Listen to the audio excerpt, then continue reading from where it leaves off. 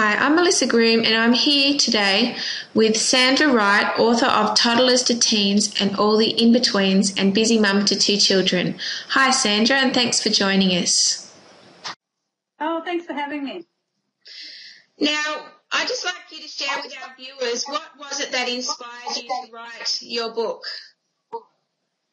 Um, well, we moved, my husband was a bank manager when my eldest daughter was born and um, we moved to the country away from family and friends.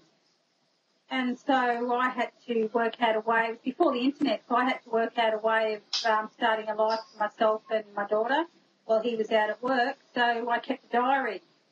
And that diary became to Teens and all the in-between.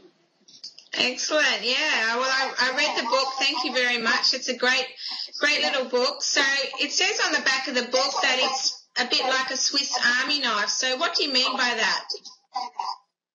Uh, well, the Swiss Army knife's got lots of different tools on it for different jobs. Um, and Toddlers to Teens got lots of little things and little stories of my experiences and hints and tips I've learned along the way for various situations that you um, will come across in everyday life with a toddler or, or older child in tow.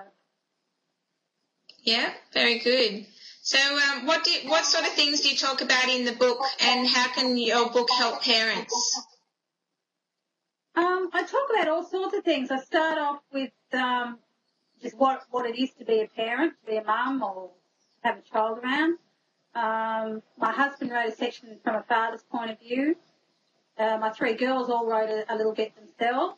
That's good. Um, and then there's just bits on dealing with the housework, entertaining a toddler, looking after yourself, like having some time out or time for the two of you if you've got a partner.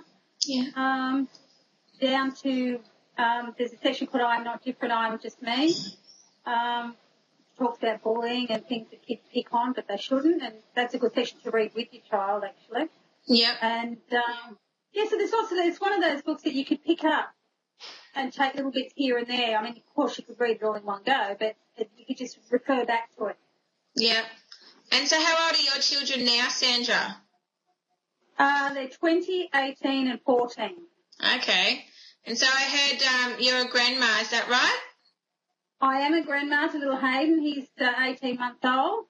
Yep. And um, in fact, I said to my daughter the other day, she was asking for advice, and I said, well, there's a good book over there on the bookshelf. Go and read it. Yeah. And she just laughed at me. She said, oh, yeah, I could save myself a phone call and just read your book. Yeah, exactly. Well done. So whereabouts can you purchase your book, Sandra? Um, you can purchase it on my website, which is www.parentingbook.com.au or from most good bookstores it's available around Australia. And I post overseas and Australia wide, so it doesn't matter where you are. Great. So, um, lastly, what's the best tip that you can give to a parent? Something out of your book. What would you suggest? Um, be yourself. Be open to learning new things and talking and listening to other people's experiences and share your experiences with others too because it really does help to get, get it off your chest.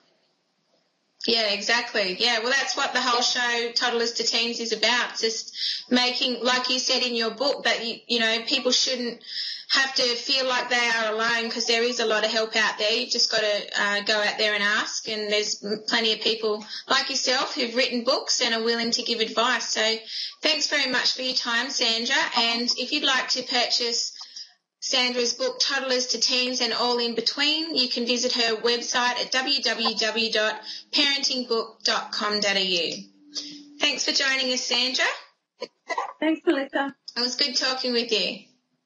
You too. Bye for now. Bye.